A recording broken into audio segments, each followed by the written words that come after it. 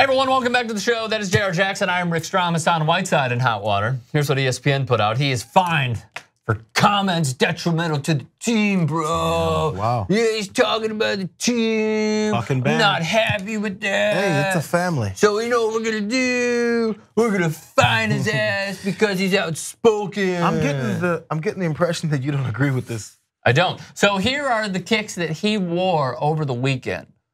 All right. I'm going to give you the quotes in just a moment. But I think it's just awesome that he had this to say on his kicks, and then he had this to say after the game. Asked how tough it was to watch from the bench. He said, It's annoying. We shouldn't. Why are we matching up?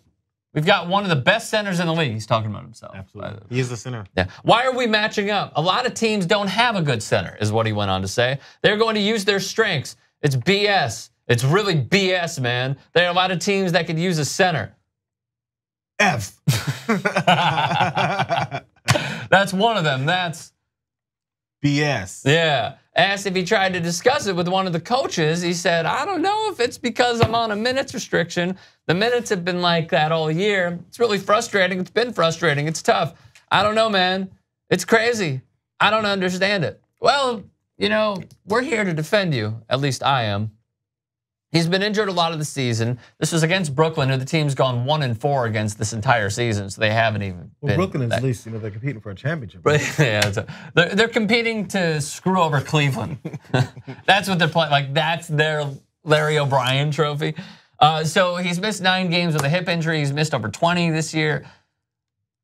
What I think this is is a failure to communicate. Oh, So what we have is Hassan Whiteside being like, "Why is this happening?" Now maybe he's talked with the Miami Heat. Maybe he's talked with Erik Spoelstra. Maybe he's met with the front office and like, "Why am I not playing?"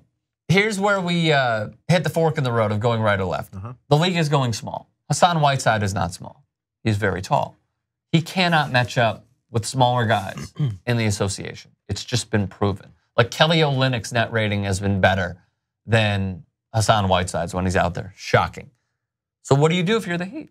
You have a guy who's being honest, who wants to play more. It's only his second game back, but he wants to play more. Didn't play end of the third, fourth quarter, and overtime against Brooklyn. So what do you do? What should he do? what should he do? Both. Well, I mean, again, we don't know if he's spoken to again within he's kept within the organization or not. Who knows? But if he hasn't, of course, that's step number one. Mhm. But also, uh, the one thing he should do is understand, and this is what we talked about Vince Carter earlier with uh, undercutting Patrick McCaw. Mm-hmm. Um, you got to not talk to the media when they ask you those questions. Not that they're again. I'm not a believer in the media. No, to- you were so Listen, wrong. So- I'm not a listen. Let me finish. us Let me finish. All right. I'm not a believer in the media's trying to drive you to this and now they're out to get you. I'm not a believer in that. There are some guys that do that. Oh, yes. 100%. Yes. But I'm not believing in a general perspective of that, right? Right. But if you get a question about something that frustrates you, just keep it to yourself. Be very careful. I get it, you're emotional right now, so you do let it out. But this is a lesson to be learned. I hope the fine wasn't I- that much because maybe that's just the lesson needs to be learned. Next time they go, hey, so man, you didn't play for the whole fourth quarter in overtime. How do you feel about that? Mhm. And it could be a genuine question because if I were there, I'd probably say, "Hey, we're looking at the uh, numbers. You didn't play the whole fourth quarter in the overtime. Was there something wrong? You feeling okay? You just come back from injury."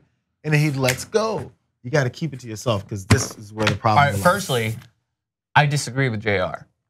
Because here's what we need in the media we need ammunition. we need to talk about something. So he's giving us talking points. I'm cool with that. he's not. He doesn't work for the media. He works for the Miami Heat. Oh, but in a way, he did us a service.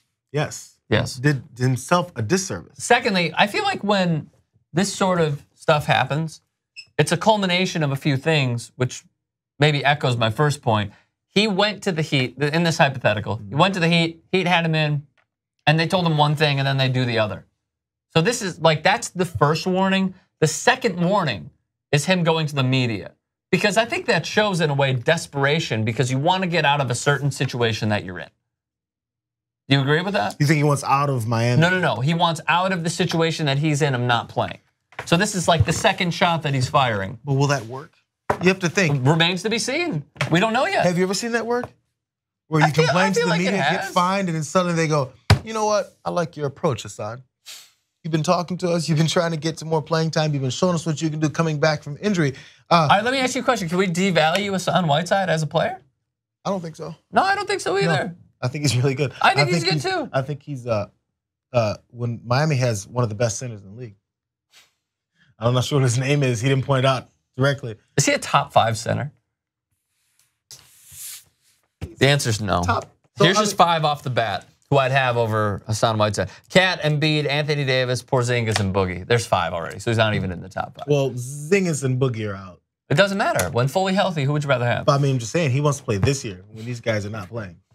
He's one of the top five centers in the league and it's playing, I guess, mm-hmm. current in the roster. Will- but even then, I'll give him top seven. Will Hassan Whiteside be on the Heat next year? Yes. I'm gonna go with a hard no. I'm gonna say Pat Riley. He don't mess around. Mm-mm. None whatsoever. He wants you to kiss the hand. Right, but the, I feel like He doesn't the- want you to slap it out. We'll see. We'll depending on what we won't see, being the Mhm. reaction behind the scenes to this fine and this bit of a rift. Mhm. If he chills out, then sure. If he doesn't, If. maybe he'll be out of here. If. That's something we won't know, but we'll see. Two years remaining on his contract. Where does he go? Let us know. YouTube.com slash TYT Sports.